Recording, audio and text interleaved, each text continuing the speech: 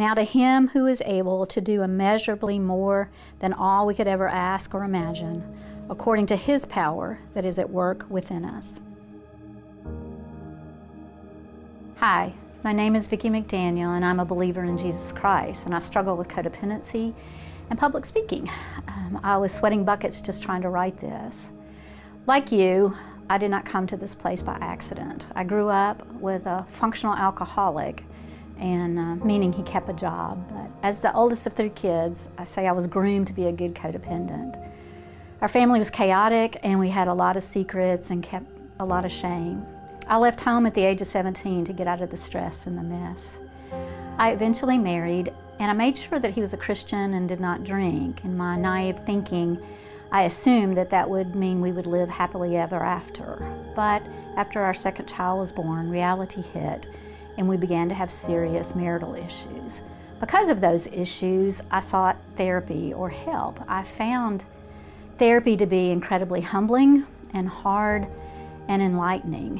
Um, in those sessions, I began to understand better how my family that I grew up in had affected me in the way that I interacted in relationships. About that same time, I also decided that I needed to go back to school, that if this marriage didn't make it, that I needed to be able to bring in more money. So between school and going to therapy, at some point I decided if you can't beat them, I might as well join them. And at that point, I began to seek a degree in counseling.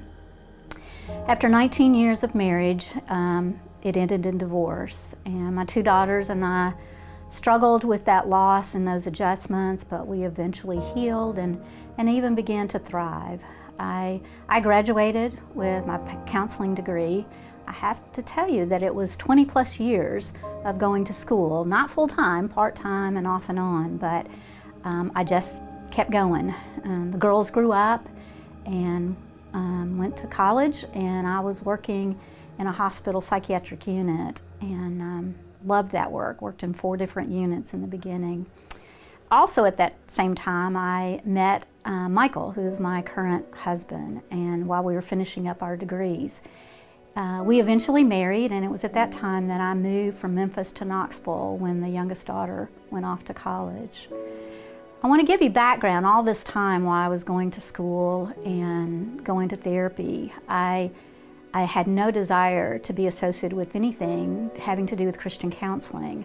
Um, at the time, I didn't feel like they had a good professional relationship, and, and I believed and wanted my faith to come across in my counseling, but I wanted to, to love people like I think Jesus would, but without advertising. So my, and also at the same time, my experience with churches um, was very disappointing. I found churches not well equipped or had any desire to deal with people with addictions or families that dealt with it or mental health issues. And so I, I um, had it in my mind that I never really wanted to do anything um, associated with Christian counseling. I felt like churches in general would say, go to your mental health facility, get your meds, get fixed, and then, then you come back and we'll try to love you. So I had that going into my uh, professional life. Mike and I were visiting different churches, and we had visited Cokesbury several times. Um, and one Sunday, I saw an announcement about a recovery ministry being started called Celebrate Recovery. I was intrigued and excited, and I began attending uh, pretty quickly after they started. And I decided I wanted to volunteer. I remember asking Gil Smith, our former recovery pastor, um, is there a way I could serve? And he asked me a really good question. He asked me, so is there something you're passionate about or something that you feel like you're a, you do well? And, and I said, yeah, I've done a lot of anger management classes. Would that be something? He goes, that is perfect. The longer I'm sober, the more angry I get. And um, so we, we laughed and, and the story began. I started facilitating 12 week anger management groups and I did that three to four times a year. After three years of doing that and loving this place, um, the church decided that they wanted to hire a clinical therapist to serve the recovery community, the community as a whole, and the church. And um, I got the job, and I'm going to thank Rebecca Fetzer for hiring me. Um, thank you. God knew where I could best serve, despite my arrogant previous plans about never wanting to be associated as a Christian counselor or affiliated with the church. But this was different, and I, I can't tell you how grateful I am that he did not listen to me for advice and guidance or go by my plans. But um, he brought me to this place, and I know that. I cannot share with you all the miracles I've witnessed because of confidentiality issues, but there are many, and some of you are sitting in front of me tonight. I've also witnessed incredible suffering and heartache, but through it all, God has sustained me and us. Somehow it's 18 years later, and it's time for me to step down from full time service and explore how God can use me in this stage of my life. I want to take a minute. I want to thank my husband Michael for his love, patience, support, and care that he's given me all these years.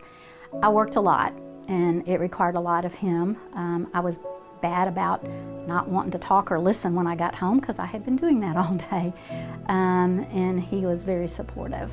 My adult children, Lindsay, Jessica, and John Michael, also provided a lot of love and support. And they, they shared me because I did work a lot and was tired a lot. Uh, I also want to thank Mark, who has led this recovery ministry for the last 10 years. Uh, he's taught me a lot, some of which I wanted to know and some which I didn't. But um, also, there have been so many people that I've learned from and have invested in me and, and the time and the energy, and I can never name or name them all. I trust you know who you are, though. My best wisdom to leave you with is to show up. God is able and willing. I'm astounded, amazed, and incredibly grateful to have shared this journey with you. This is not goodbye, but I'll see you around. Thank you.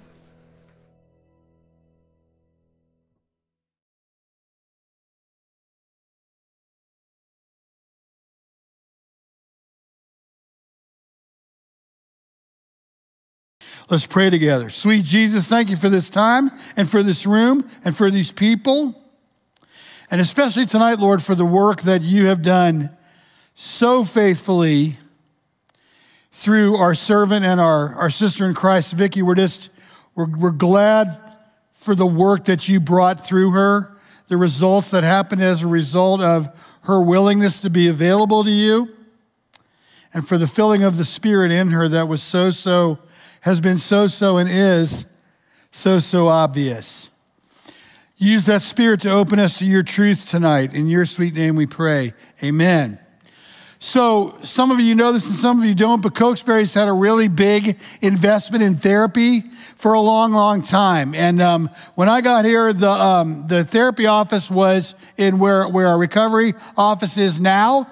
And so, what happened to you, I really, I sort of feel bad, kind of bad for people that were um, clients back in that earlier day because back in that earlier day, and he's Gary Wilson is here tonight, but so Gary was in that office and I was in that office. And so if you were a client, oftentimes you had to like put up with the two of us. And so we kind of said that, I know, so we kind of said like, if you didn't come in with stuff really going on in your life, we could get you there in about 20 minutes with us, you know, hanging out in that office. So then um, the office moved across the street into a so, sort of seldom used trailer.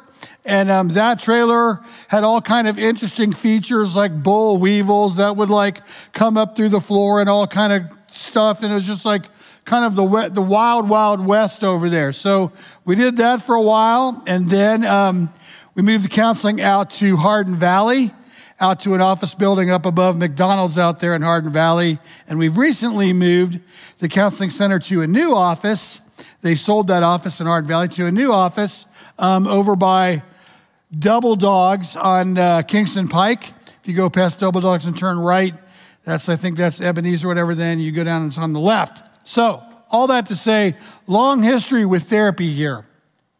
And I want to talk about why that is tonight and why we have coupled over, over this time, and it's become more and more and more intentional. Why we have coupled recovery with therapy, why we believe it's so important that those two belong together in the work that we do here, in this, in this, in this room and in all the rooms that we share, open share groups, and other places where we serve.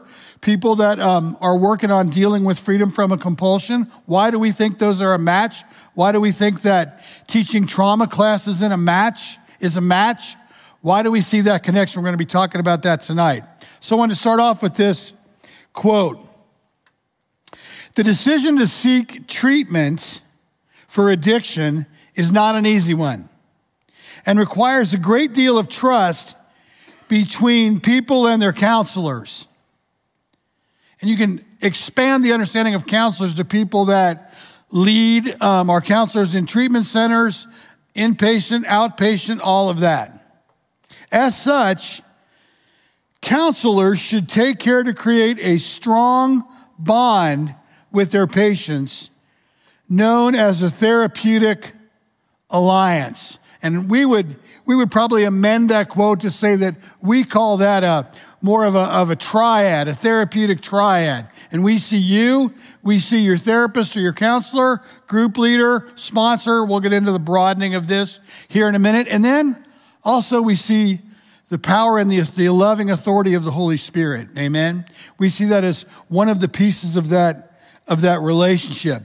A therapeutic alliance is the trust patients feel with their counselors allowing them to feel vulnerable, sorting out their problems, and work together effectively. Strong alliances like this ensure that patients view their counselors as trustworthy and know that their best interests are on the forefront. This allows counselors and patients to work together even during tribulation, even during tough times. While this trust takes time to develop, patients should eventually feel comfortable speaking freely during sessions, feel relief after an appointment. Here's the thing, and feel a desire to go back. So, I want to talk about uh, tonight about the, the, how broad the understanding of therapy is, and I also want to talk about some myths about some myths about therapy that I think are, are important for us to understand. One of those is this is that we get a ton of phone calls in our office about someone who has got something going on in their life bigger than they are. We call that a compulsion. And the first thing that people want to know is, do you guys, do you guys have any kind of a counseling center? And we say, yeah, you know, we do have a counseling center, been around a long time. Tell us what's going on. Well, Johnny or Susie or whoever, they drink too much, they drug too much, they something too much, and so they just need, they need to go see a therapist somehow, and they need to talk about that. And we say, we're going to really recommend that while your loved one or friend or whoever that is that you're talking about is in direct active addiction or direct active compulsion, that they begin by trying to get some sober time prior to us trying to do that kind of therapeutic work. And people generally don't like that because people generally want to believe that what you need to do is you need to, you need to go see a counselor, and the counselor is going to tell you what to do, and the counselor is going to do 95% of the work, and you're going to do five because after all, you know, you're, you're the one that's paying the bill, right? And so they should be the one really producing the work. And they're going to explain to you how you're screwed up. And then you're going to listen and you're going to believe 3% of that. And then you're going to go home. And because you've had four counseling sessions, woohoo, four counseling sessions, you're going to be fixed and then everything's going to be okay. Does that pretty much get it? You know, counseling's not always the first step in recovery. Sometimes the first step in recovery is getting down to a good old fashioned hard challenge of walking your way through step one. Getting your way through the basics of step one that life as you know it is out of control, unmanageable, and that you don't have a way to be able to create the way out. So, therapy is not always appropriate. Secondly, myth number two Therapy, which is what I've been talking about somewhat, therapy replaces all other, all other recovery tools. I mean, if you If you go and you begin to deal with your compulsion and you get six weeks clean, then the next thing you do is you connect with a therapist. And once you connect with a therapist, you get a free pass, kind of like getting the, um, the vaccine card, and it goes, Susie no longer needs to go to meetings for her compulsion of choice. She no longer needs a sponsor. She no longer needs the recovery literature. She no longer needs places, fellowship in places like this. All she needs to do is make that one hour, which is amazing to me, is meet that one hour appointment with therapist A, B, C, or D. Can't be true. Therapy is a complement of all of the other recovery tools that we regularly introduce to people and to all of us. It's a complement to all of those other tools. It works in a sync. It works in a, it works in a, in a team-based environment with all of those other tools. And to expect more than that is to really say that I've got a, I've got an inauthentic view of what really is going to be accomplished in that place. Myth, myth number three. Therapy, which is, so you, you, this happens all the time. You go to you go to a let's say you go to an inpatient treatment facility to deal with your compulsion. And at that facility, you have group time, you have individual counseling sessions time, you have some individual work time, you have some time where you're learning some of the other tools of recovery, like how to be in a relationship with a sponsor, those kinds of, those kinds of pieces of this. And then you do after your four weeks that you're there or five weeks that you're there, you assume that because the program ended, all of the work that you just started doing on what was happening in your life, everything you just started unraveling, well, all that's kind of done now. You know, all that's kind of all that's kind of accomplished now, which is like where we get into so many things that happen to us in aftercare is we don't have aftercare. We believe that when we leave, whatever it is we started, we're done. Whatever it is that sort of got uncovered, which is just beginning to be uncovered for most of us when we get into trauma in our lives, we just begin to let that trauma see a little bit of the surface, kind of like seeing the very top, the very top of an iceberg, but there's so much more below. And one of the best things that can happen when you begin to get some sober time dealing with your compulsion of, of choice is to put yourself into regular rhythmical therapy, to have the time and to be able to put the focus on and to be able to put the energy into and to be able to put the regularity into doing the work of uncovering where the pain is, what it is you are on the run from, what it is you're most afraid of, what it is you feel like you're failing at, what it is you feel the most guilt about, what it is you feel the most ashamed about, why it is you feel worthless in the way that you do, because all of those feelings, when you begin to get sober, they don't just sort of magically go away. As a matter of fact, like we have to understand, we've been using our drug or compulsion of choice to be able to avoid those feelings, most likely for quite a long time. And for a while, we thought we were pretty good at that, right? And so when I just get started unraveling the yarn, you can imagine like taking a baseball and I begin to unravel, you know, the yarn of that or taking something that is made out of yarn like that. It takes a while to unravel that, doesn't it? It ain't to happen in 10 seconds. You're to be at it a while. And so, so therapy doesn't fix most things in two sessions. And I mean, if I ask, if I ask most people, how long do you think, how much time do you think you're to need to spend with a therapist? They're going to want to say, they're not going to give me a criterion answer. They're going to give me a, a, a, a date line answer. They're going to go, well, I think six weeks. You know, when you, when you talk to people about doing treatment, inpatient treatment, number one question how much does it cost? My answer how much have you spent lately on your compulsion? Add up the last two years.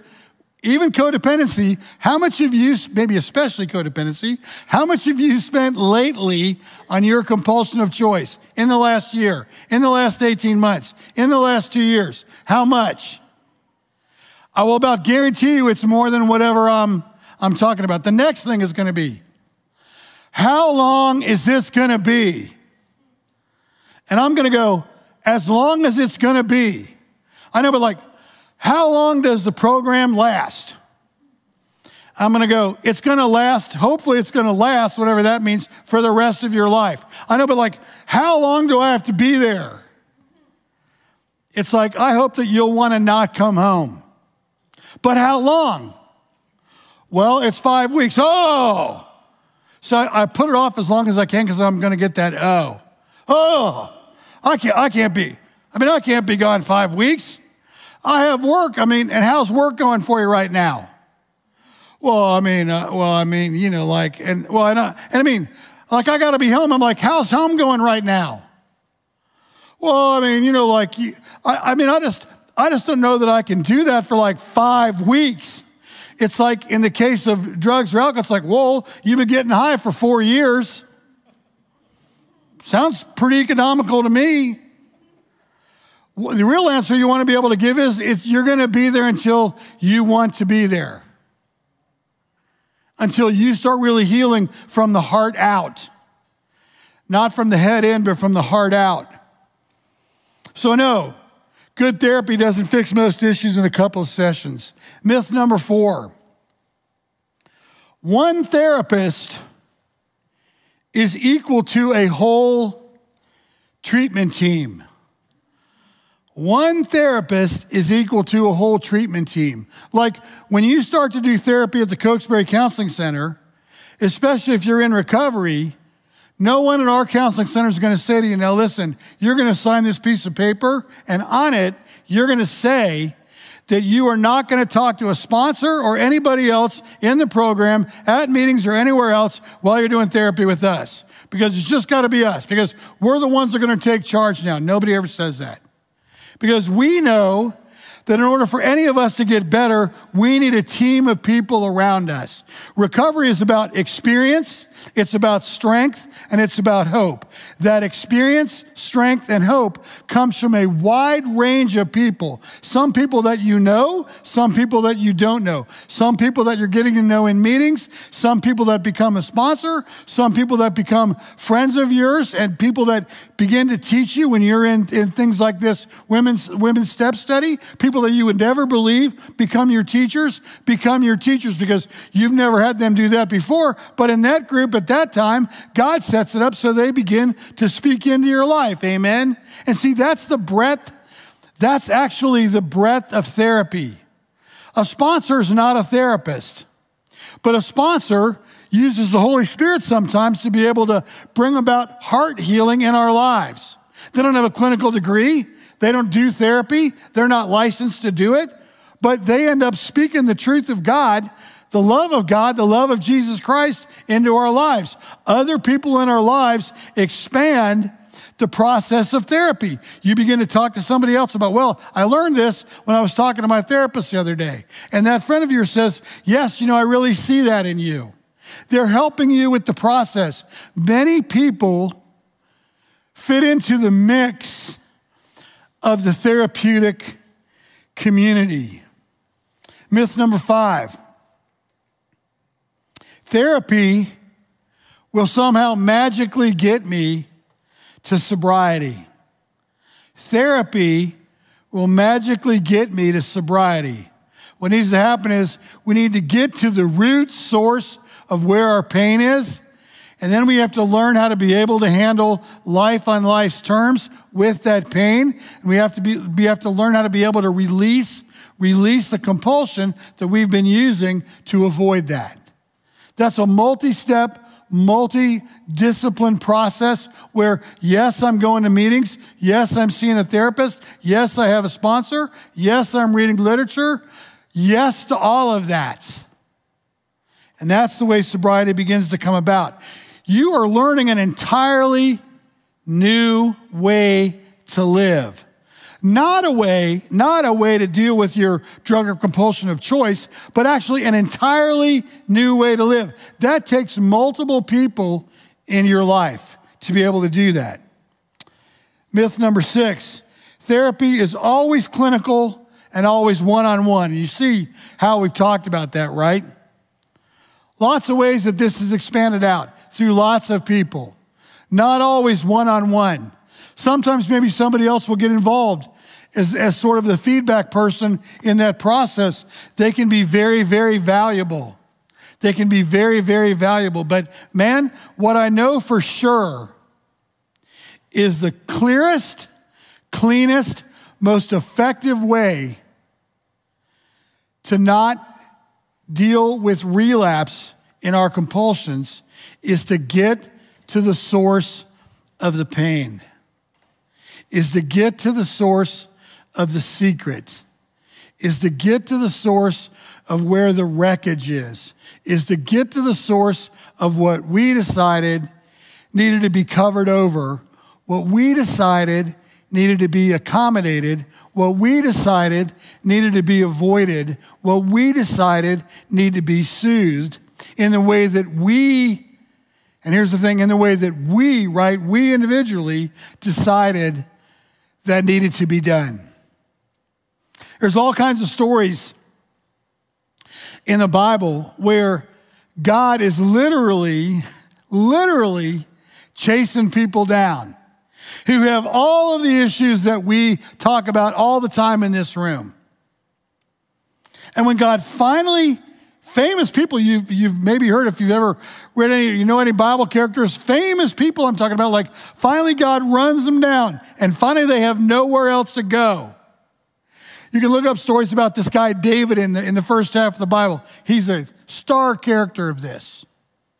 No, finally nowhere else to go. God finds him in this hiding out literally in this cave.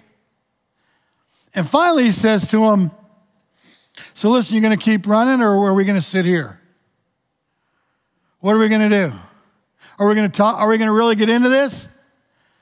Or basically, what he's trying to say to David is this if you keep running, you're going to keep dying. If you want to start living, you've got to stop running. And sooner or later, when you stop running, you've got to sit down and spend solid blocks of time with me. Because in the end, any compulsion, in the end, is a spiritual disease. It really has everything to do with what's going on between us and God.